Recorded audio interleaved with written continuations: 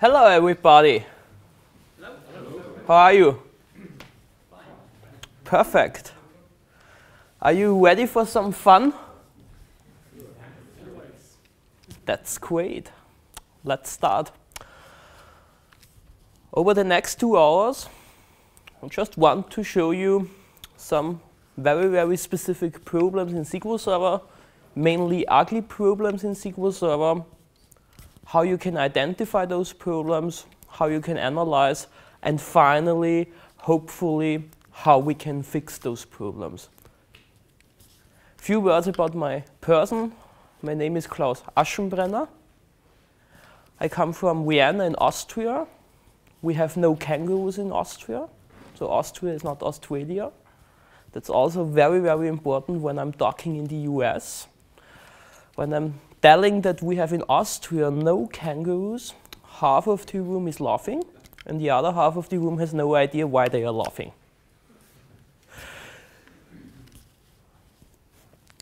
I'm an international conference speaker, means I'm traveling around my whole life, talking, speaking about SQL Server, like these days here in Sweden. Don't ask me today which day is, I have no idea anymore. I have flown on Monday evening to Copenhagen, went by train to Malmö, docked yesterday in Malmö, same thing as today.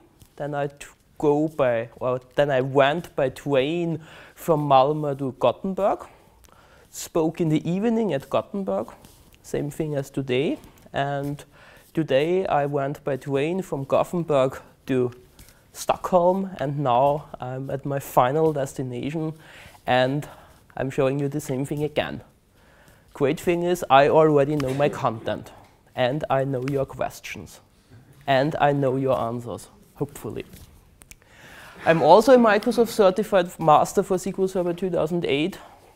It doesn't matter anymore. Microsoft just retired that certification they have made no profit out of it, so it's not important. They just retired it. So a really, really strange story that happened here with that certification. I have also written the book Pro SQL Server 2008 Service Broker. Service Broker is an asynchronous messaging framework that Microsoft first introduced back with SQL Server 2005. With Service Broker, we are able to write asynchronous message-based applications. Who of you knows Service Broker?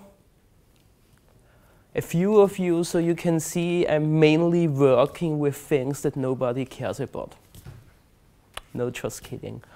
And you can find further information on my website at sqlpassion.at, where I provide more information about the services that I'm offering, training and consulting services around Europe, and I also provide a huge amount of free training content around SQL Server. Who of you knows my SQL Server quickies? One person, we have to change that. Safe for Work, it's just a YouTube channel where I provide in five to 10 minutes an overview about one specific topic in SQL Server. So just quick and a dirty specific topic in SQL Server. Let's have a look on the agenda for the next two hours. As Lars has said, we will try to make a break in the middle. Let's see if it works or not. It will work. I just want to talk about four specific topics in SQL Server.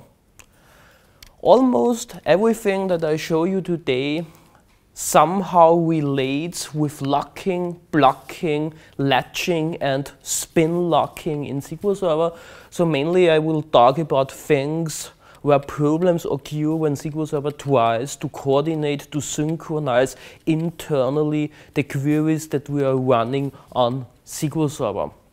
In the first step, a very easy thing, just for warm up, I just want to talk about the isolation level read committed and I want to show you one specific scenario where SQL Server is not running our transaction in read committed even when we specify the isolation level read committed. It's already very, very interesting and an important thing to know in SQL Server. Afterwards, we will move on to a problem called thread pool starvation. So I just want to show you how we can crash SQL Server. With a CPU utilization of 0%, means when you're looking to Task Manager, you can see nothing happens on your CPUs. And SQL Server also doesn't react anymore. Means when you want to connect to SQL Server, nothing happens. Very, very interesting when you want to troubleshoot that situation, because for troubleshooting SQL Server, we have to connect to SQL Server, and SQL Server doesn't respond anymore. So we have to see afterwards how we can solve that problem. Then we will do a short break. And then we will continue by talking about the public toilet of SQL Server, TempDB. TempDB, a very, very important database in SQL Server, which is just misconfigured by default. And I want to show you how easy it is to get into massive performance problems when you run your SQL Server installation with a default configuration of TempDB. And finally, spin lock contention. In this section, we will crash again SQL Server. I like crashing SQL Server, but this time we will crash SQL Server with a CPU utilization of 100%. Means all our CPUs are going up to 100%. SQL Server is just going crazy, burning down CPU cycles, but within SQL Server nothing happens. Sounds interesting? Perfect. If you have questions, just ask. If you are lucky, I have an answer. Let's start in the first step about the isolation level read committed. Who of you knows the isolation level read committed? Everyone, because every transaction by default runs in the isolation level read committed. I just want to demonstrate you on the flip chart what it means to run a transaction in the isolation level read committed. Imagine we have a table with four rows and we want to read from that table. When we read records in SQL Server, SQL Server always acquires a so-called shared lock. In read committed, imagine we perform a scan of an index or a table scan. We are reading those four records. And when we read the first record, SQL Server acquires a shared lock on that first record. Then we read that record off our database. When we have read that record, we release that shared lock. Then we move on to the second record. We acquire the shared lock on that record. Then we read that record. When we have finally read that record, we release that shared lock. Same thing happens with the third record and finally with the fourth record. Means at one point in time, we just have one shared lock on that record that we are currently reading. That's just the default behavior of the isolation level read committed. The problem that we have with the isolation level read committed is that we have no so-called read stability. Means when you're reading those rows within your transaction again, it can be the case that the row has changed by another transaction. When another transaction changes a row, for example, with an update statement or a delete statement, that transaction acquires a so-called exclusive lock. And the exclusive lock is just incompatible with the shared lock. Means the exclusive lock blocks the shared lock, the shared lock blocks the exclusive lock. As you can see, when we have read those rows, when we have released those shared locks, we can acquire an exclusive lock on a specific row and we finally can change that row. Then we release that exclusive lock. When we afterwards read the same rows again in our reading transaction, we have the possibility to see different row versions. Therefore, we have no repeatable reads in the isolation level read committed. If you want to have repeatable reads, you have to lower down your isolation level to repeatable read. Means the isolation level repeatable read gives you repeatable reads, as the name implies. What SQL Server is doing in repeatable read is very simple. Imagine we have our table with our four records again, and we are reading again that complete table. The difference is now that we acquire our shared lock on the specific record, but we don't release that shared lock anymore. Means we read the first record, we read the second record, the third record, and the fourth record. In repeatable read, we are holding our shared locks till the end of our transaction, until we perform a commit or a rollback of that specific transaction. Of course, when someone else wants to change a specific record, the exclusive lock gets blocked by the shared lock. Means in that case, the reader blocks the writer, the select statement blocks the update statement, and therefore, as a side effect, you have repeatable reads. Means you can read those rows multiple times within your transaction, and you are getting back the same versions. That's the idea behind the isolation level repeatable read. And in some specific cases, SQL Server can also run internally your read committed transaction with the semantics of the isolation level repeatable read. Mainly when you, are, when you use in your table design LOB data columns, like a varchar max, where you can store up to 2 gigabytes of data, and in combination with a blocking operator in your execution plan, like a sort operator. Normally, when you have a sort operator in your execution plan, SQL Server just creates a copy of your data. The problem that we have with an LOB data type, we can store up to 2 gigabytes of data. Means when you copy that data, SQL Server has to write everything into TempDB. In that case, you would, you would flood TempDB with a huge amount of data. Therefore, SQL Server can't use that technique. And what SQL Server is doing is very simple.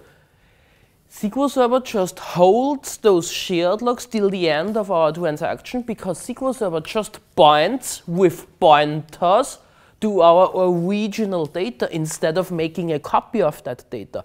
But the data must remain stable and SQL Server enforces that stability by just holding those shared locks till the end of our transaction. Because when we have acquired that shared lock, nobody else can change our data, and as a side effect, we have a stable data.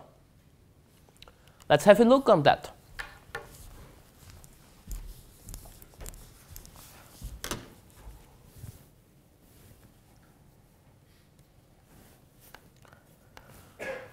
I create here a database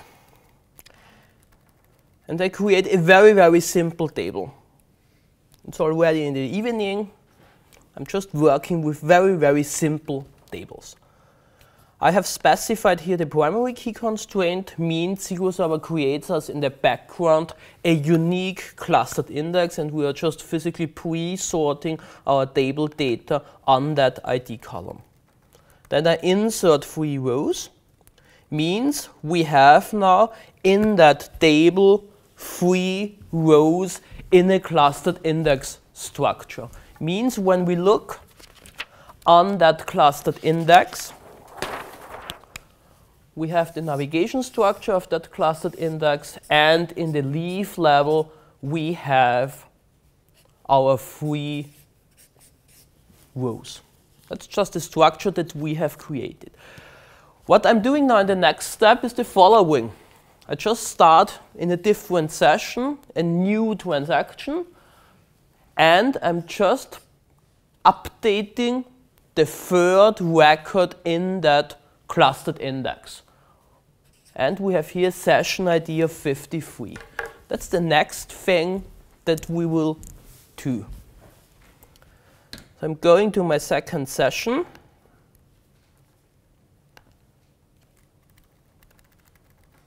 I'm copying that statement over.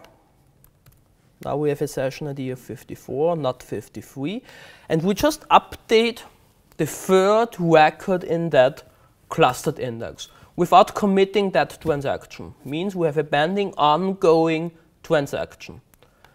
In a third session, I'm going into my database and I'm just reading rows. Of course, that statement blocks. Nothing special about that because we just scan now that clustered index in the leaf level with a scan operation. We acquire the shared lock on the first row. We read that row. We release that shared lock. We acquire the shared lock on the second row. We read that row. We release the shared lock. And finally, we try to acquire the shared lock on the third row. And here we have to wait because the shared lock is just blocked by the exclusive lock of the different session. Just a traditional blocking situation in SQL Server. When I'm going the whole time backward and forth, it takes a huge amount of meters. And finally, we can also look into the lock manager of SQL Server, sys.dm_tran_locks. When we go to sys.dm_tran_locks, where the request session ID equals, what's the session ID that is waiting? 53.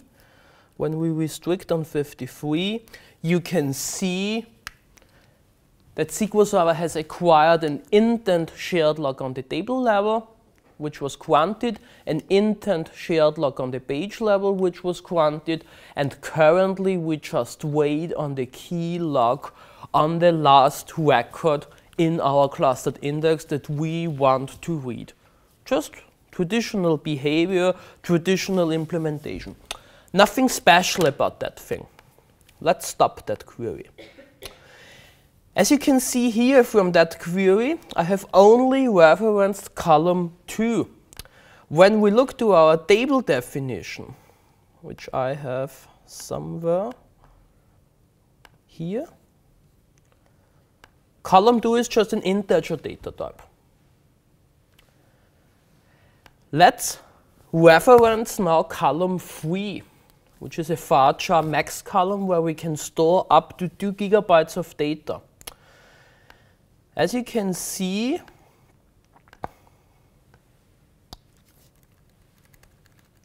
I have here also an order by.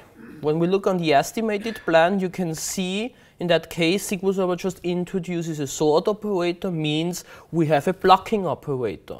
So we have now the situation that we have an execution plan with a blocking operator in combination with an LOB data type column that we are referencing. Of course, statement still blocks. We are waiting on the shared lock on the third row that we try to read from that clustered index. When we look now again into the lock manager, things are changing. Instead of one key lock, we have now currently three key locks. SQL Server has acquired the shared lock on the first row, SQL Server has acquired the shared lock on the second row, and finally we are waiting on the shared lock on the third row. Means SQL Server behaves now internally as when we run that transaction in repeatable read. We are just holding those shared locks till the end of our transaction. Just think about that we still run that statement, that session in the default isolation level of read committed, but internally SQL Server runs that transaction in repeatable read. Imagine you're reading more than 5,000 rows. What happens? When you have acquired more than 5,000 row level locks? Any idea? A lock escalation. In that case, SQL Server escalates the individual shared locks to one shared lock on the table level. Means you have a table which is read-only. You can only read from that table anymore, but you are not able to change anything. Just think about that. Okay, makes sense? Yes? No? Maybe? I know it's already late. So that's very, very important.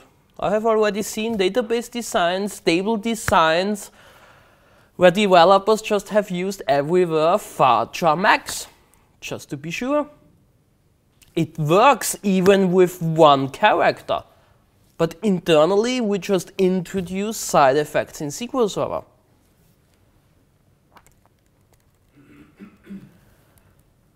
What do you think about that statement? What execution plan would you expect from that specific SQL statement?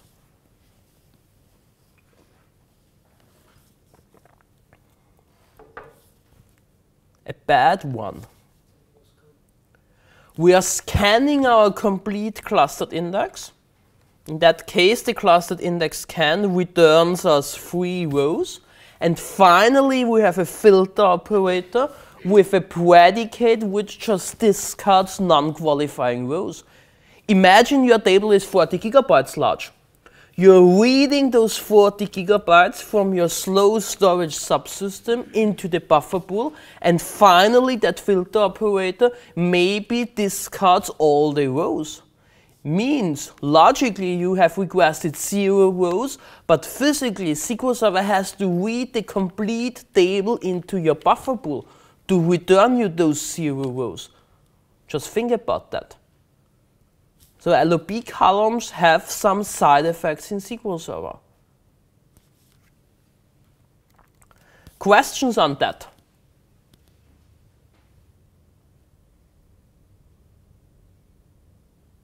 You are so silent. Come on. I'm not biting you. Perfect. Let's roll back that transaction and let's go back to PowerPoint. Let's talk now about thread pool starvation. Who has already heard about thread pool starvation in SQL Server? What does it mean? Well, it means there's no worker threads you can't connect there are no worker threads available anymore to execute our queries. That's interesting. When we run queries in SQL Server, let's just say single-threaded queries to make things easier. Every query just gets a worker thread. Means with a query 1, that query gets a worker thread. We have a second query, that query gets a worker thread. We have a third query, that query gets a worker thread. How many worker threads gives you SQL Server? It depends. On what?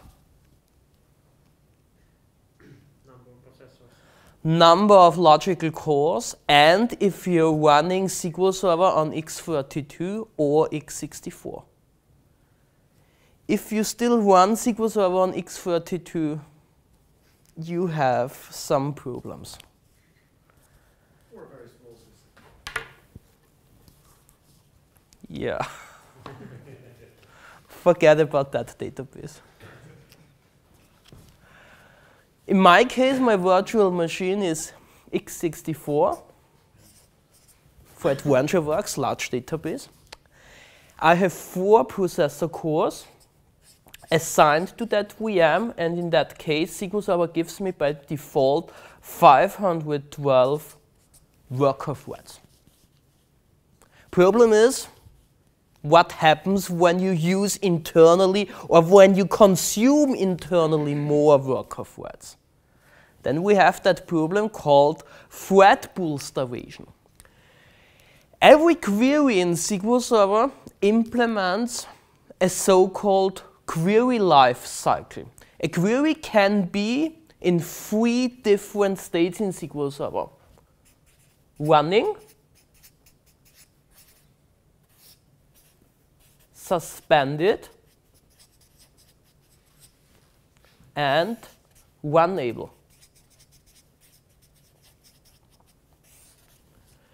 Means a query is in the state running as long as we are not waiting on an external resource. As soon as you're waiting on an external resource, like a page that you're reading from your slow storage subsystem into your buffer pool, or for example, when you're waiting on an incompatible lock, SQL Server moves that query from the running state into the suspended state.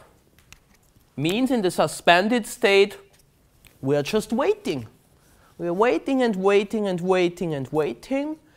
And at some point in time, that resource that we are waiting on becomes available.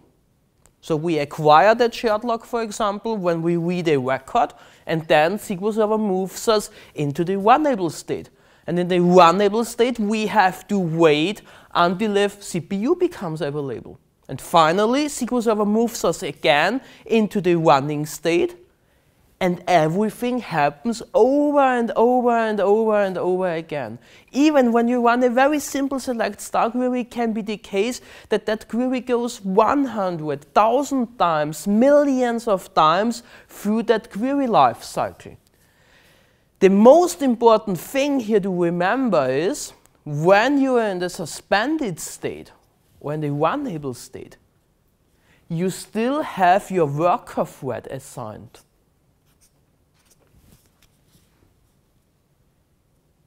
means when I run that three queries and those queries are in the suspended state, we are also using those worker threads, means those worker threads are not ever available for other queries. Imagine we have a huge amount of queries which are, which are waiting in the suspended state. Imagine we have here, let's say, 600 queries which are waiting. That's not possible because we have only 512 worker threads. And then you have the problem called thread pool starvation in SQL Server.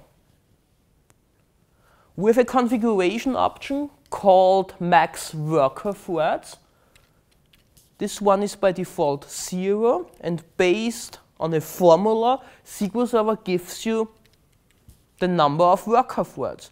You can also set that to a specific value, not really recommended. The problem is when there are no threads available anymore, the question is how can you troubleshoot that specific problem?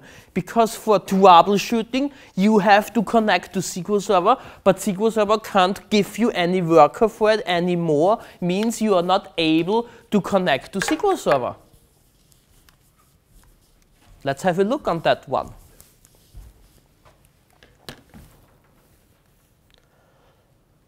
I can show you in the first step that formula that I have mentioned which is documented in books online. And based on the number of CPU cores and your processor architecture, SQL Server gives you specific number of worker threads. As I have said in my case, I have four logical processors. x64 means in my virtual machine, I have 512 worker threads available.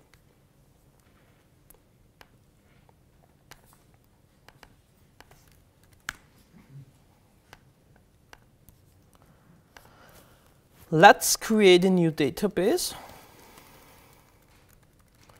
Let's create a new table.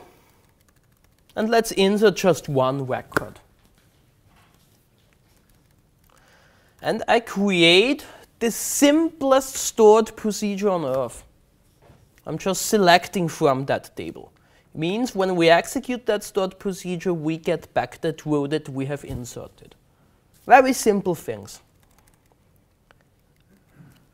As I've said, we have that configuration option max worker threads. By default, the config value is zero, means SQL Server gives you those worker threads based on the formula that I have shown you previously. You can go to sys.dm_os_sys_info, column max worker count, and SQL Server tells you how many worker threads you have available. In my case, the 512 that I have mentioned.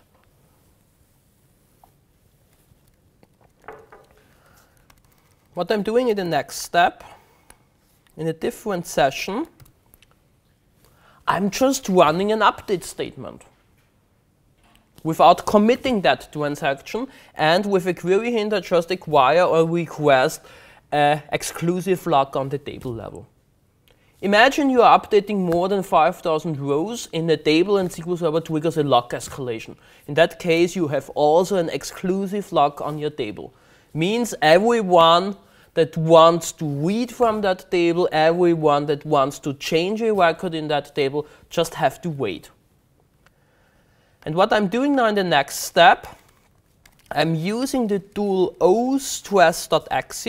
ostress.exe is part of the so-called RML utilities which you can download for free from Microsoft, from CodePlex.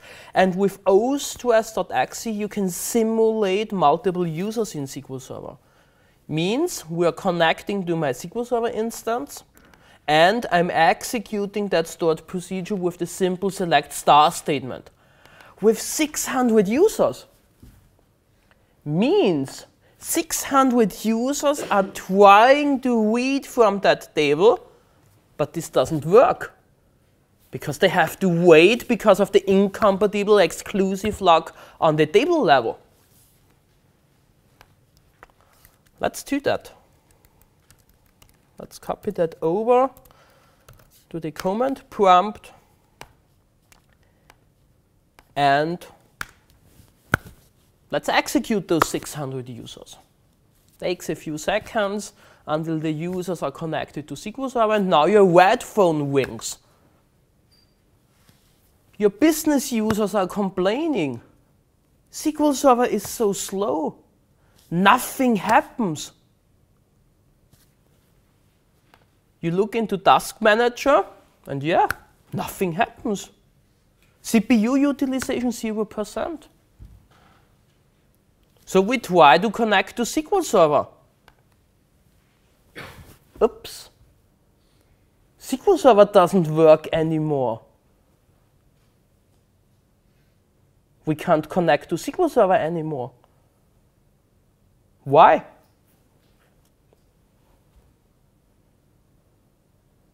Because we have no worker threads.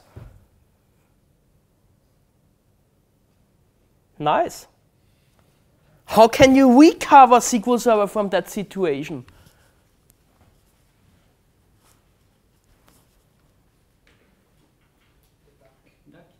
What is the DAC?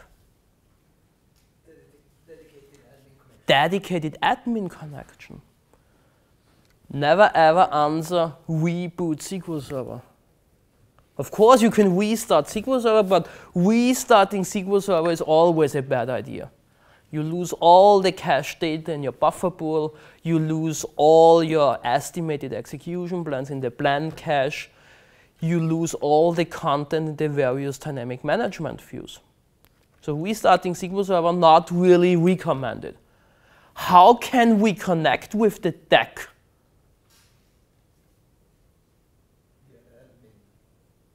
Admin colon instance name. That's also very, very important. You should know how you can connect with the dedicated admin connection to SQL Server.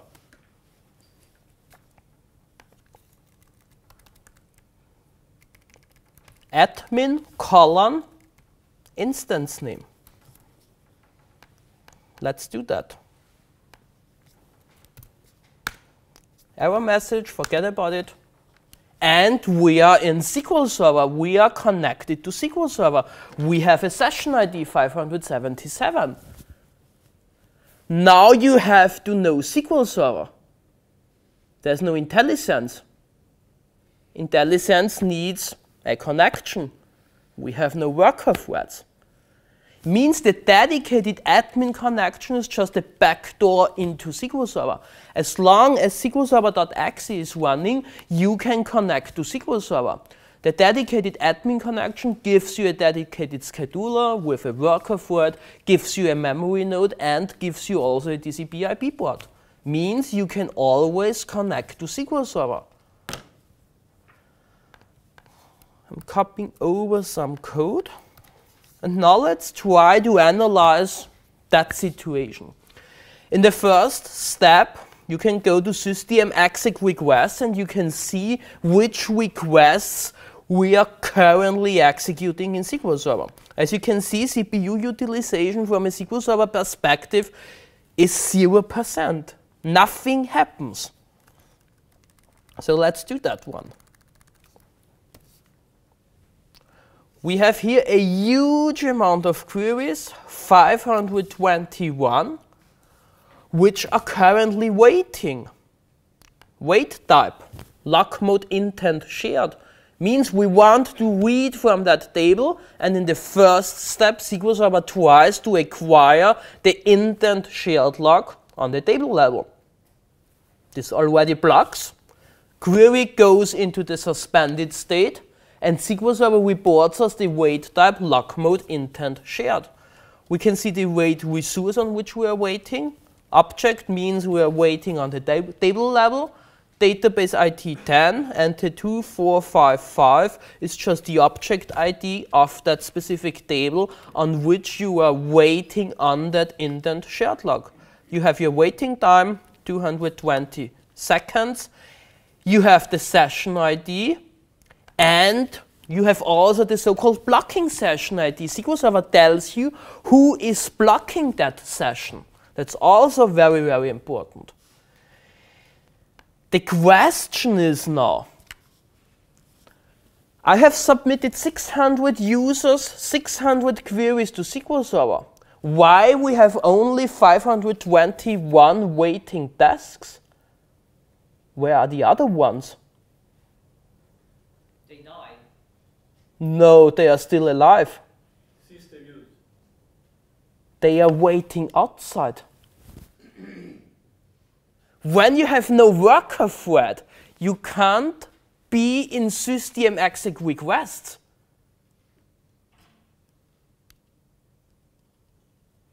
Means they are waiting outside of SQL Server.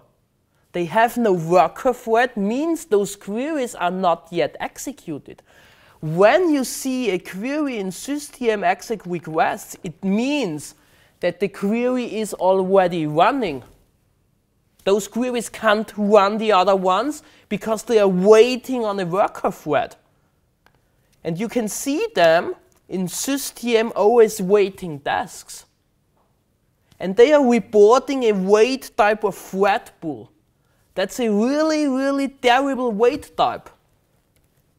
You can see here we have 16 queries which are waiting of the waiting type thread pool. Means they are waiting until SQL Server can give them a worker thread and then they can start query execution. And as you can see, those waiting sessions, they have no session IDs. They are not yet started. They're just waiting outside. You are waiting inside, you are waiting on that lock. The other ones are just waiting outside for a worker thread. Just think about that one. That's very, very important. A thread pool wait type is very, very terrible because it means your queries can't start query execution because they are waiting on a, uh, they are waiting on a worker thread. Just imagine that.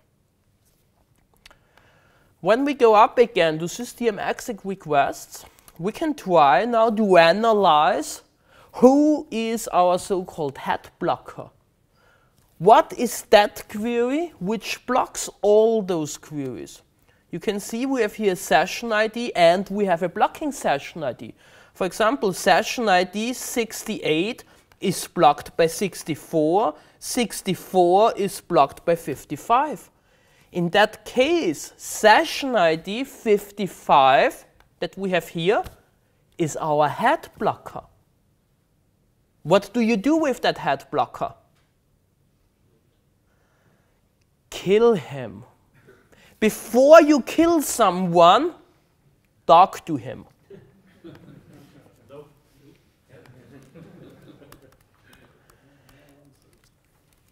so let's analyze that head blocker. Let's go to sys.dm_exec_sessions to see what query is that. You have the login time, you have the host name, you have the program name, you have the login name. Oops, that's me. Not so good. With that session ID, you can also go to sys.dm_exec_connections. In sys.dm_exec_connections, you have a very, very important column. The most recent SQL handle. SQL Server tells you the last SQL statement, the last word that that person, that query has executed before you kill him. We can grab that most recent SQL handle and with the dynamic management function sys.dm_exec_sql_text, you can retrieve the SQL statement. So you know, whoops, you know what that SQL statement was. How can you get the estimated execution plan from the plan cache? Sorry? I think you use the same. There is a dynamic management function sys.dm_exec_query_plan. The problem is that dynamic management function accepts a query plan handle. And the query plan handle is different as the SQL handle. So the question is how you can get a query plan handle from a SQL handle.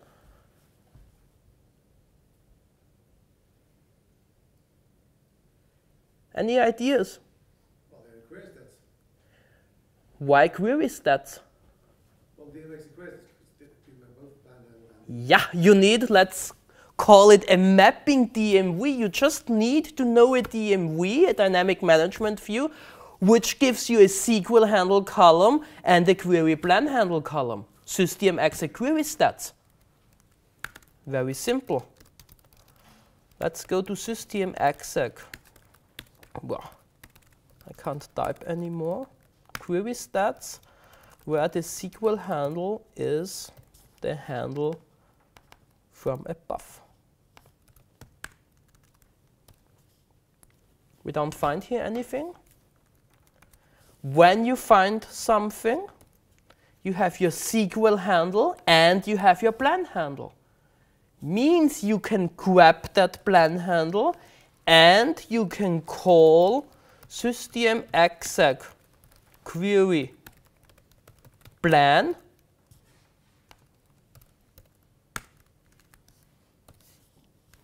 system exec query plan to get the estimated execution plan from the plan cache. Just think about that. We were going to sys.dm_exec_requests. We have analyzed what our head blocker is. With that session ID, we were going to sys.dm_exec_connections. We have grabbed the most recent SQL handle. Based on the most recent SQL handle, we have retrieved the SQL statement. With sys.dm_exec_query_stats, we have retrieved the plan handle. And with the plan handle, finally the execution plan. Impressive, isn't it? And finally, when you have analyzed that query, and the person isn't coming back to your office anymore, you kill it. Means in that case, the head blocker rolls back, releases the exclusive lock, the other sessions can acquire the shared lock, and we have recovered SQL Server from that thread pool starvation scenario without restarting SQL Server. And as a side note, you can't kill yourself in SQL Server, your own session ID. Self-suicide is not possible. Okay? And finally, when you are finished with that dedicated admin connection, you disconnect. You have only one. That's your wife or your husband. You have to be very, very, very careful. Otherwise, you are locked out of SQL Server or you are locked out of your house and you have to restart your life. Okay, so that's very, very important that you afterwards disconnect from the dedicated admin connection. There's just one. When you have lost it, not so good. Questions on that? Well, you have to hope that the session is killable. Yeah. Of course. Because, well, if the session is, is if the session is stuck in the preemptive wait, well, it's not going to work. Then you have a problem, of course. Then you have to restart, for example, SQL Server. Yeah. Yeah. Other questions? Yeah. Is there any reason not to set, you know, the number of uh, worker threads really high, and instead of 500, say to 10,000, just to avoid this? Every worker thread needs additional memory. Means normally SQL Server itself is smart enough to, to figure out how many worker thread he needs. As I've said here, here we have of course already a really, really bad query in front of us. A very long running transaction where you have an exclusive lock on the table level. Of course, when you have such a query, you also have to know the side effects. As I've said previously, imagine you're deleting 5,000 rows from a huge table, or more than 5,000 rows from a huge table, and SQL Server triggers a lock escalation. In that case, you also have your exclusive lock on the table level, and all the other ones have to wait. So what you're saying, this will happen if you run enough queries at the same time, sooner or later? Yeah. It's the same when you are running SQL Server with the stupid default configuration with the max DOP of zero. Max DOP of zero means the DOP defines how many worker thread each parallel operator in a parallel execution plan can use. Means when you have a parallel plan in front of you, it can be the case, or it will be the case, that the parallel plan itself uses more worker threads than the max DOP option. Because the max DOP just defines how many worker threads each parallel operator can use in the execution plan, not the execution plan overall. So just think about that one when you're running a huge amount of parallel plans on a system. In that case, you're also exhausting those worker threads, and maybe your queries are reporting that thread pool wait type. We can also look to our wait stats.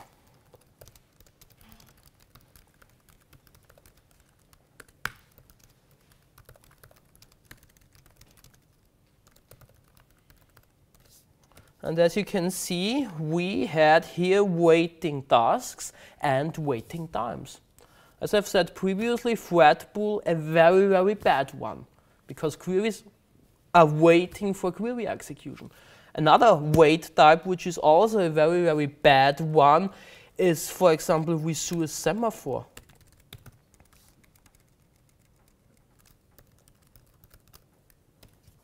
Resource semaphore every time when you have a query in front of you and that query has, for example, sort operations, hash operations, the query needs a so-called uh, so-called memory grant, and that memory must be granted before the query starts query execution. When that query memory is already exhausted in SQL Server because you are running a huge amount of queries, then queries also have to wait for their execution. And they are reporting that wait type resource semaphore. So that's also a poison wait type. Queries are just waiting for query execution. So thread pool, resource semaphore, those are wait types that you don't want to see within SQL Server. Those are just bad ones just means queries are not doing anything, they are waiting for query execution. Other questions? Perfect. Half time. So let's break for how many seconds? Let's break for 15 minutes to make it easy, and then we will continue with the public toilet of SQL Server, TempDB.